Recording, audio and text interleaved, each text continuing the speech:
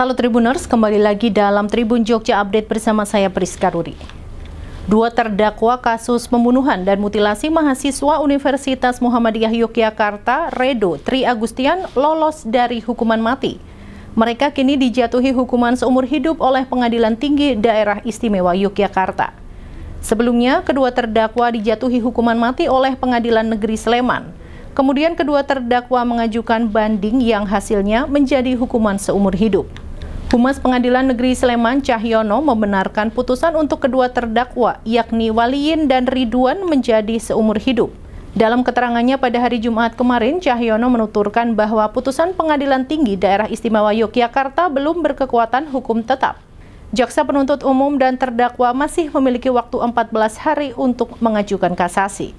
Sementara itu, Kasipidum Kejaksaan Negeri Sleman, Agung Wijayanto menegaskan bahwa pihaknya akan mengajukan kasasi atas putusan tersebut.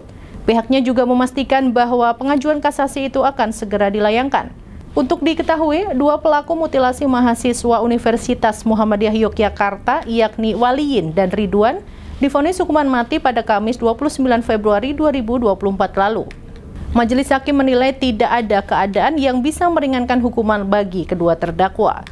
Sebaliknya, ada sejumlah hal yang memberatkan keduanya.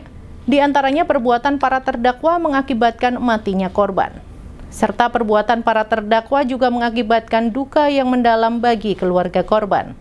Demikian berita terkini terkait pembunuh mahasiswa UMY yang lolos dari hukuman mati karena banding dikabulkan.